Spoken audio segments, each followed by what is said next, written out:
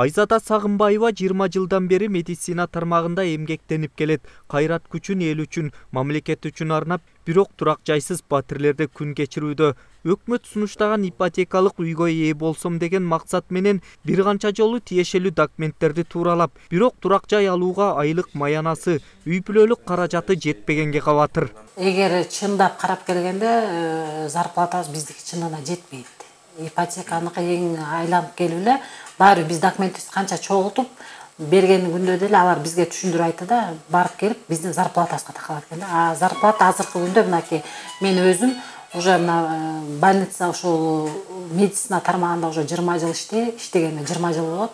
Бирок алган зарплатабыз мынакей азыр он миңге да жетпейт. Анткени менен үй алуу үчүн кезекте тургандардын саны миңдеп саналат мисалы үй алууну каалагандардын эки миң он алтынчы жылдын отузунчу июндагы тизмесинде биринчи болуп бишкек шаарында эки миң жети жүз алтымыш тогуз жаран катталса чүй облусунда эки жүз сексен беш талас облусунда отуз төрт ош облусунда бир жүз он бир нарын облусунда эки жүз отуз эки ысык көл облусунда жүз алтымыш алты жалал абад облусунда сексен сегиз баткен облусунда отуз тогуз жаран кезекке турган турак жай алуу үчүн алдын ала наркынын үчтөн бир пайызын төлөө керек. Ипотекалык насыя берүүдө үй бүлөнүн жалпы кирешеси жана чыгашасы да саналат бүгүнкү вот маалымат боюнча баягы недоступный деп айтып атат доступный ипотеканы бирок негизи буга мен кошулбайм анткени бул кредит ипотекабыз он беш жылга созулуп анан үч миллионго сомго чейин берип атабыз он беш процент менен он экиден он төрт процентке чейин да баягы өз салымына карата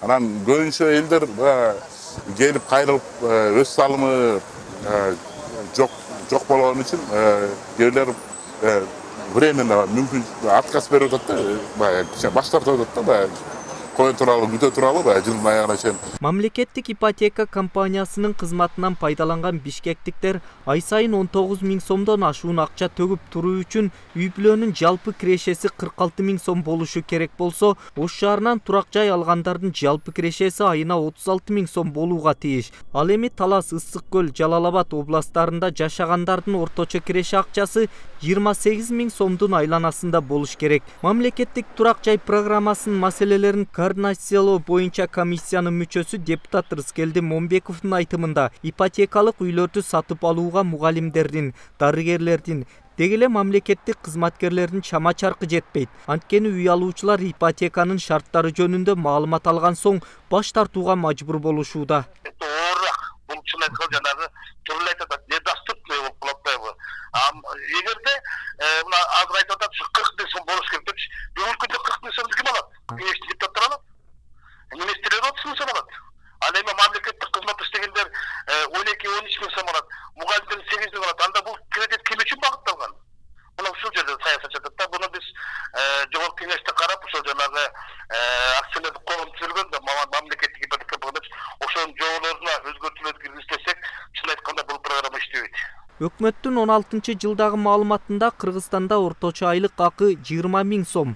Ал эми стат комитетинин маалыматы боюнча быйылкы орточо айлык он эки миң сегиз жүз кырк сегиз сомду түздү. Ал эми айрым мамлекеттик кызматкерлер айлык акылары он миңге жетпегенин айтып турак жай турмак күнүмдүк жашоого жетпейт деп нааразы. Зарылбек шермаматов сентябрь. Саламатсыздарбы урматтуу теле көрүүчүлөр эфирде акшам көрсөтүүсү аны мен марат төлөмиш уулу алып барам. Мамлекет тарабынан мамлекеттик ипотекалык компания түзүлүп жарандарды жеткиликтүү турак жай менен камсыздоо боюнча иш аракеттер жүрүүдө бирок жарандар ортосунда бул жеткиликтүү эмес эле жеткиликсиз турак жай программасы болуп калды деген пикирлер дагы бар. Биз бүгүн мына ушул жөнүндө сөз кылуу үчүн студиябызга конок чакырдык. Мамлекеттик ипотекалык компаниянын өкүлү алмаз дакыбаев. Саламатсызбы саламатсыздарбы урматтуу алмаз мырза мамлекеттик ипотекалык компаниянын айланасында бир топ талкуулар жүрүп жатат жөнөкөй жарандарга сиздердин турак жай жеткиликсиз болуп жатат деген сөздөр көп айтылууда туура бүгүн ушундай сөздөр жүрүп жатат мен түшүндүрүп кетейин бүгүнкү күндө биздин мамлекеттик ипотекалык компания өкмөттүн программасы боюнча иштеп келе жатабыз арзан турак жай деген былтыр иштеп чыккан ошо программа. Ошол программага каратуу өкмөт канча бир акчаны саптап жатабыз эми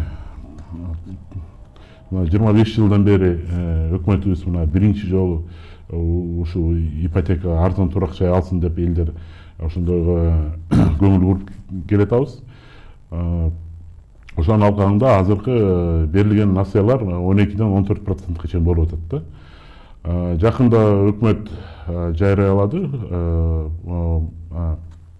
проценттик ченди түшүрөбүз дагы арзандатабыз деп он процентке чейин түшүрөбүз деген сөздөр жүрүп жатат эми аны биздин адистер ошону санап чыкса финансы жагынан кандай болот деп. Анткени азыркы саптап жаткан акчаларыбыз бул насыя кыргызский российский фонддун акчасы ал акча дагы бизге бекер берилбеген ал деле акча процент менен берилип атат. Анан ошо ошол акчаны доллар катары берип атат да. Доллар катары берилген акчаны биз сомго айлантырып анан элге сом менен берип атабыз да. Бүгүнкү күндө мына мен мисалы үчүн жөнөкөй мугалим катары бул компаниядан программа аркылуу батирлүү болушум үчүн эмне документтерди топтошум керек кандай маалымат алышым керек жана менин бул ипотекалык батиримди кандай бөлүк бөлүгү менен кантип төлөп берем мындай жөнөкөй сөз менен түшүндүрүп кетсеңиз сиз мугалим болсоңуз сизге эң биринчи азыр өкмөттүн программасы боюнча биз тизме менен иштеп атабыз да ал тизме өкмөттүн мамлекеттик комиссиясы бекитилет ал тизмеге кириш үчүн сиз мугалим катары документтерди эң негизги документтерди даярдаш керек да бул биринчи документ баягы ишканадан иштеген жериңерден сиздин маяна жөнүндө анан кийин жашаган жериңерден үй бүлөңүз тууралуу жөнүндө справка керек анан кийин эң негизги бул баягы государственный государственный регистрден справка алыш керек сизде баягы республика боюнча турак жай сиздин атыңызда жок деген маалымат катары справка алыш керек да вот ушул документтерди топтоп туруп азыр мына эки булактан баягы тизмеге кирсе болот да бул иштеген жериңерден биринчи экинчи жолу экинчи жолу бул баягы турган жериңерден баягы местный органы власти деп коет баягы мамлекеттик акимчиликтерде да допустим первомайский районунда турсаңар мына первомайский район акимиятта комиссия түзүлгөн жилищный комиссия. Ошого барып любой жаран азыркы убакта бюджетте иштеген жаран. Ушул документтерди топтоп туруп барып тапшырат. Анан арызын жазып туруп ошол тизмеге кирет. Ал тизме болсо республика боюнча топтолуп туруп мамлекеттик комиссияга барат. Ал комиссия бекитип туруп ал ошол тизмени бизге берет. Мына бүгүнкү күндө республика боюнча азыр төрт миң алты жүз сексен төрт киши ошол тизмеге кирип биз ошол тизмени карап туруп ошо элдерге насыя берип атабыз ипотека. Бүгүнкү күндө маалымат бар ушул тизмедеги адамдардын көпчүлүгү баш тартууда деген. Андай себеби эмнеде болуп атат туура андай жарандар деле бар бунун эң негизги себеби бул баягы биздин эң башкы эреже жарандын өз салымы болуш керек да өз салымы бул он проценттен башталып турак жайдын баасынан баштап он проценттен кем эмес өз салым болуш керек да мисалы үчүн бүгүнкү күндө алты жүз доллар квадрат метрин эсептегенде он пайыздык салым канча болушу мүмкүн азыр ортодон алсак бир комнат квартиралар азыр он беш миңден жыйырма миң долларга чейин болуп атат ошондо сом менен айлантканда бир жарым миллион сомго чейин. Ошондо бир жарым миллион сом ала турган болсо он проценти жүз элүү миң сом да ошо жүз элүү миң сомду банкка алып барып туруп төгүш керек да ошо жаран. Ошонун айынан көбүнчө азыр беш жүзгө адам арызын жазды. Азырынча ошондой салым болбой атат. Мен топтоп турайын жылдын аягына чейин мага мүмкүнчүлүк бергиле деп арыздарын жазып атат.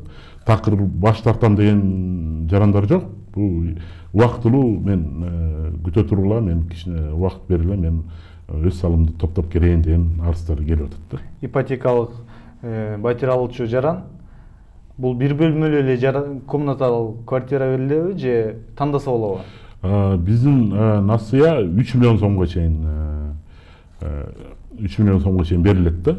Үч миллион сом азыркы күндө долларга айлансак где то кырк төрт кырк беш миң доллардын баасы түзөт да.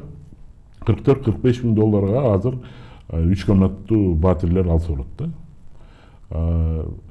Бул бирок насыянын көлөмү бул өз салымынан анан э,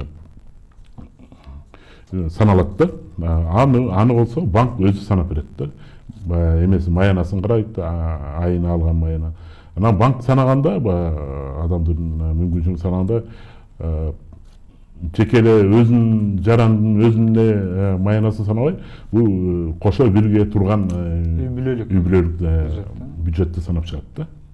Ошондо азыркы убакта мына эки жүз элүү кишиден ашык элдер алды. Ошондо ортодон алып келсе где то бир отуз миң сомго чейин үй бүлөлүк мындай средний мындай орточо эме болуп атат да. Бюджеттик доходдор бүгүнкү күндө батирди алгандан кийин өздүк салымын кошкондон кийин.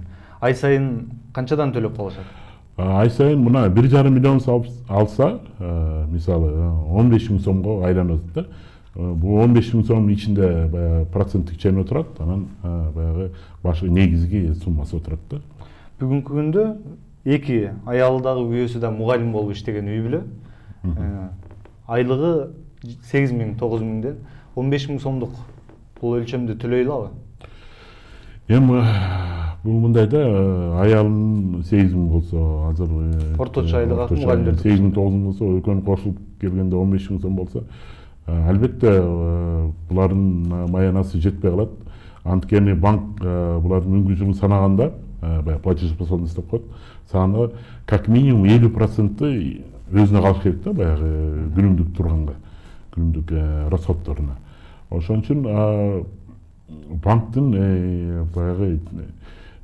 эң башкы эрежеси бул бир жыйырма жок дегенде бир жыйырма миң сом айына э, үй бүлөлүк бюджет болуш керек да. Ошондо э, бир он эки миң сом төлөсө ошондо бир миллион сомго чейин ала алат да ошондо мүмкүнчүлүгү бар жаранды канча жылга төлөп өтөт бул биздин насыя он беш жылга чейин берилип атат азыркы убакта. Он беш жылга он беш жылдын ичинде төлөп бүтүш керек да.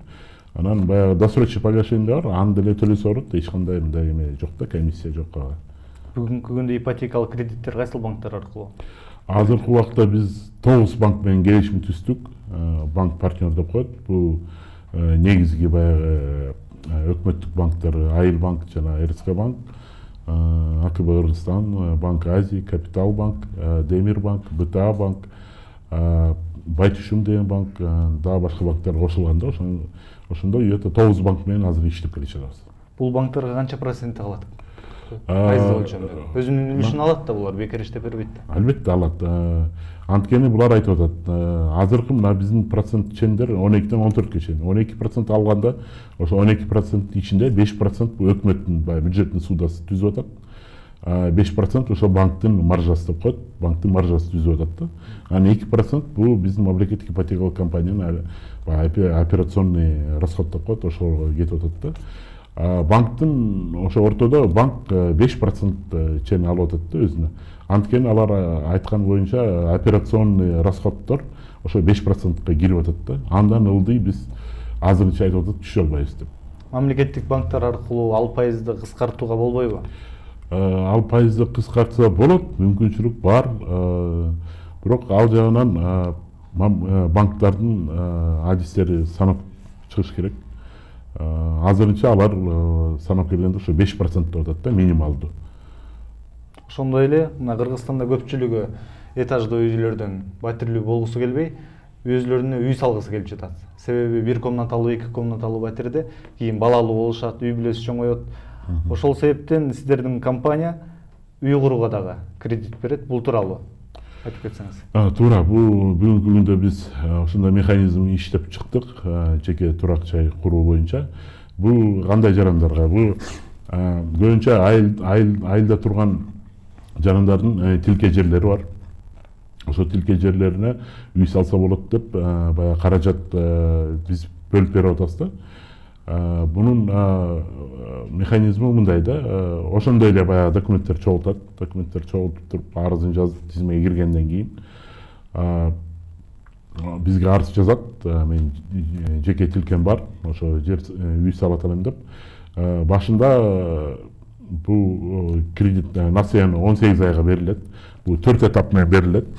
Биринчи этапы бул пай дубалын тургузганга экинчи этапы баягы дубалдарын тургузганга үчүнчү этапы чатырын жапканга анан төртүнчү этап бул баягы тышкы баягы ички баягы штукатурка үйлөрдүн ремонтторун бүтүргөнгө берилет да. Анан кийин госархстрой деген филиалдар бар архитектура булар комиссиясы келип туруп акт вводе в промышленную эксплуатацию деген акт түзүп берет. Ошол акт түзүлгөндөн кийин документ алып туруп ошол үйдүн документин банкка күрөө катары коюлуп туруп анан банк ошол кеткен акчасын жанагы тургузган үйдү тургузган үчүн ал акчаны он беш жылга ипотекалык насыялоо катары берилет да ошол эле пайыздык чен менен бул бишкек шаарындагы жер тилкеси бар мугалимдер дагы ушул эле программанын насыясын алса болобу албетте болот шаарда жер шаарда деле болот то есть тилкеси бар жаран любой жерден салса болот да канча суммага чейин берилет бул турак жай куруу боюнча турак жай куруу боюнча бул деле үч миллион сомго чейин берилет да мөөнөтү он беш жылга чейин ал эми азыркы күндө мамлекет курган көп этаждуу үйлөр жок болуш керек сиздер кайсыл батирлерден алып берип жатасыздар азырынча бизде эки куруу компаниялар биз менен иштеп жатат бул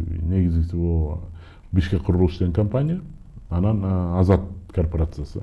Бишкек курулуш компаниянын азыркы бүтүрүлгөн үйлөр мына бизден алты жаран биздин тизмеден алты жаран ошол үйдөн алды. Бул үйлөр туңгуч деген микрорайондо жайгашкан ошол үйлөрдөн азыр алты жаран үй жаран үйлүү болду да.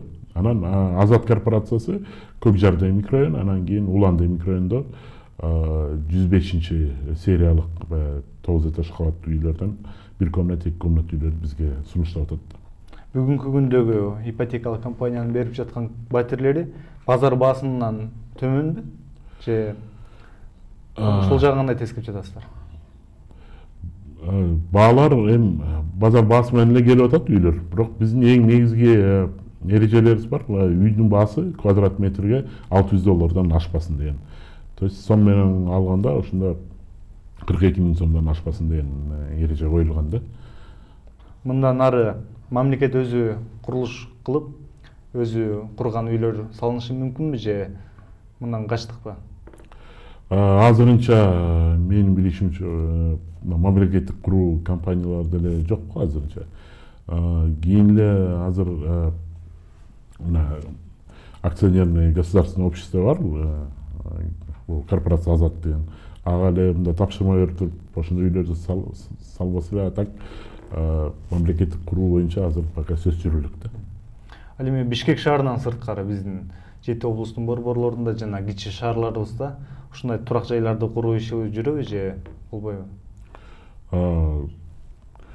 Мына биздин программа боюнча бүт эле бүт аймактарда республиканын бүт аймактарында курса болот ошондой эле ипотекалык насыя алып атат элдер мына биздин азыр бүгүн статистика боюнча алып келсек көбүнчө кредиттер бул насыялар бүт баягы аймактарда алынган кредиттер да мисалы үчүн талас шаарындагы тургун көп кабаттуу үйдөн батир алам десе ал жакта мүмкүнчүлүк барбы же мүмкүнчүлүк бар албетте бар. Анткени азыр талас шаарында мына менин билишим боюнча үйлөр арзан эле экен бишкектен карата эки эсе үч эсе арзан экен азыр бир комнатный үйүн жакында мына таластан бир мугалим бир мугалим келин алам деди бир комнатанын баасы жети миң доллар экен таласта ошто азыр бир комнатанын баасы он экиден он беш миң долларга чейин экен бишкекте азыр мына корпорация азат он жети миңден жыйырма эки миң долларга чейин бизге сунуш кылып атат да бир комнатный үйлөр. Анан дагы жөнөкөй жарандарга түшүнүктүү болуш үчүн стажысына көңүл бурулабы ушул боюнча критерийлерин санап берип албетте стажга көңүл бурулат бул жарандын эң биринчи негизги иштеп иштеген мөөнөтү үч жылдан кем болбош керек? Анан акыркы иштеген жерде бир жыл стаж болуш керек да. Акыркы иштеген жер акыркы иштеген жер а мындай общий стажы үч жыл болуш керек да анан бүгүнкү күндөгү сиздердин адреске багытталып жаткан сындарды кандай кабыл алат элеңиздер эми мындай болуп атат да жыйырма беш жылдан бери өкмөт мына эң биринчи азыр көңүл буруп атат эми сразу эле баштап кетиш бул деле оңой эмес эми өкмөт көңүл буруп мына каражат ар кайсы жерден таап берип атат буюрса мен ойлойм мындан ары баягы насыянын эрежелери мындан да жеңилдетилет проценттик чендер да азайылат мен ошого ишенем буюрса биз дагы иштеп атабыз чет өлкөлүк донорлор эл аралык донорлор бул эл аралык банк немецкий kfw деген банктар азыр биз менен иштеп келе жатат сотрудник алардын консультанттары келип биз менен иштеп атат мүмкүнчүлүгүбүздү карап атат буюрса мен ойлойм алар да кредитный линия ачып туруп бизге биз арзан каражаттар алып келсе биз ошондо да элдерге арзан нерселер сунуш кылат элек да бүгүнкү күндө биз айтпадыкпы жөнөкөй мугалим ала албай жатат деп анан турак жайдын баасы түшпөйт баарыбызга түшүнүктүү анан пайыздык өлчөмдөр дагы он пайыздан ылдый түшпөйт экен демек айлык акы жогоруласа гана мугалимдер жөнөкөй врачтар аскер адамдары бул ипотекалык квартирадан колдоно алса болот ал эми азыркы учурда негизгиси жеткиликсиз болуп калып жатат э азырынча ушундай болуп атат. Буюрса мен ойлойм биздин насыябыз сом менен берилип атат он беш жылга чейин анан алып келсек барган сайын сомдун баасы арзандап келе жатат он беш жылдан кийин азыркы мына алган бир жарым миллион эки миллион болобу он беш жылдан кийин мен ойлойм ал акча арзан болуп баягы биздин насыяга баягы инфляция дагы таасир этпейт ошон үчүн бул доллар менен эмес баягы курсовой разница дегендей эле андай рисктер жок да ошон үчүн мен ойлойм барган сайын насыялар бизге арзандап келет да ипотеканы түгө албай калган учурда шарттарды түшүндүрө кетсеңиз албай түгө албай калган учурларда мындай эмелер сапталганда бул биринчи мамлекеттик страховая компания деген ачылган билесиңер ал компания страховка кылат ал үйдү анан банктар жарандан жаранбай үй алардын астында баягы эме деп коет поручительди алат. Ошо поручитель болсо гарант болуп чыгат да ошо төлөбөй калса деп. Ошондой бул ипотекалык патерден колдонгон адамдын баары ошо поручитель деген ишенимдүү адам деген колдонушу керекпи колдонуш керек бул банктын талаптарынын талаптары да эң биринчи талабы поручитель болуш керек обязательно. Сөзсүз болуш керек сөзсүз болуш керек. Поручитель бул туугандарынын арасынан же тааныш аркылуу мындай достор аркылуу алса болот да. Анан бизде кыргызда бар эмеспи баягы колунда бар адамдар ушул ипотекалык арзан батирлерден пайдаланып дагы өзүнүн каражатын көбөйтүп батирлерине батир кошуп. Ушул жагын жоюу боюнча бөгөт коюу боюнча кандай иштер жүрүүдө?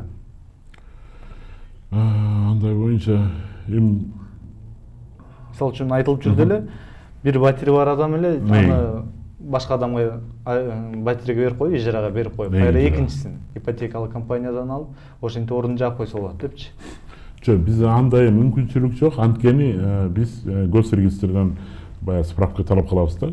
Справкага госрегистр обязательно бул республика боюнча мунун үйү жок болуш керек турак жайы жок болуш керек да анын атында. Ошону текшерип бүткөндөн кийин анан биз ошо насыяга мүмкүнчүлүк беребиз да. Тааныш билиштик өң тааныштык деген нерселерге бөгөт койгонсуздар демек.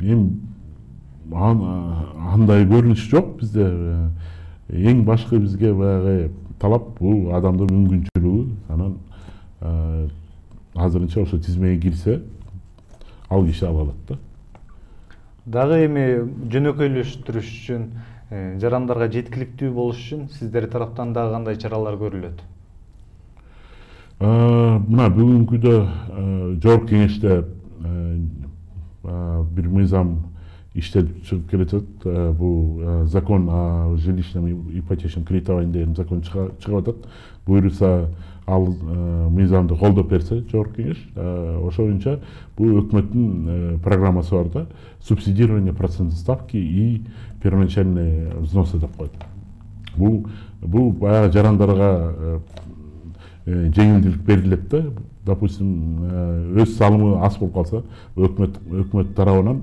өз салымына бул жардам берип субсидия берилет анан проценттик чейин боюнча тоже ошондой субсидия катары каралат да. Эми акырында эфирибиздин аягында мугалимдерге врачтарга аскер адамдарына кайрылып кетсеңиз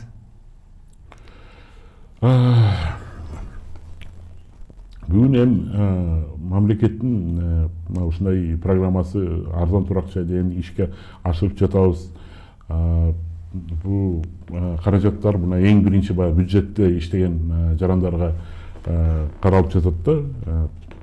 Анан буюрса азырынча албетте көбүнчө элдин баягы мүмкүнчүлүгү болбой атат бул насыя алыш үчүн. Бирок элдер азыр ойлонуп баягы башка коммерциялык кредиттерди салыштырып көрсө өкмөттүн жеңилдеткен насыялар более менее мындай эме болуп атат да баягы подходящий элге мындай жарактуу болуп атат да ошон үчүн мен ойлойм бара барып элдин да маянасы көбөйөт өкмөттүн да мүмкүнчүлүгү пайда болот баягы дагы арзан акча алып келип арзан каражаттарды элге сунуш кылса анан ушинтип атып мен ойлоп атам ушу ипотекалык насыялар элдер көп алып пайыздык чендери арзан арзандатып анан балким мөөнөтү дагы узартып бир жыйырма отуз жылга чейин узартылат да рахмат бизге маек куруп бергениңизге урматтуу телекөрүүчүлөр бүгүн акшам программасында мамлекет тарабынан ипотекалык программа компания түзүлгөн ошол компаниянын иш аракеттери тууралуу сөз кылдык саламатта калыңыздар